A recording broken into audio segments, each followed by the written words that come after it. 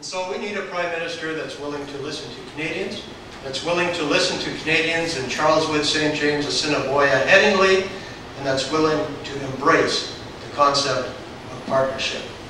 And so as we look forward to working together, look, again, this isn't about me. I would appreciate any help that we get. I plan to roll up my sleeves and I plan to work tirelessly. And I plan to listen to the issues that you may have. And I already know that there are some issues. I know that the aerospace industry in this riding is very important. Employs somewhere around 14, 16,000 people. In fact, I had a son, I have a son that uh, for a year worked just on the outside of this riding at Cadorath as, a, as an aerospace engineer. I know how important the aer aerospace industry is in this riding.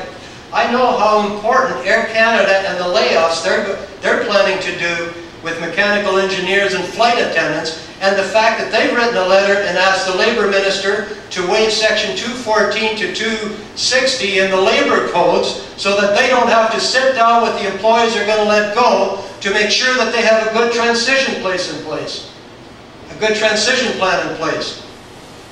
It's a very important issue for this riding. Senior issues are very important in this riding, and affordable housing. Child care issues are extremely important in this riding.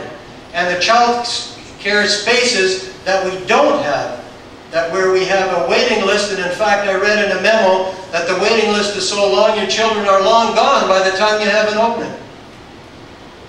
But just as importantly, we need the young people in this riding. The young people are future Canada. We need your vision. We need the vision of young people.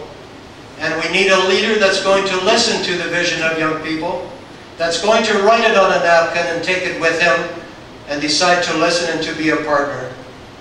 Young people are the future of Canada, and we need their issues and your issues as well.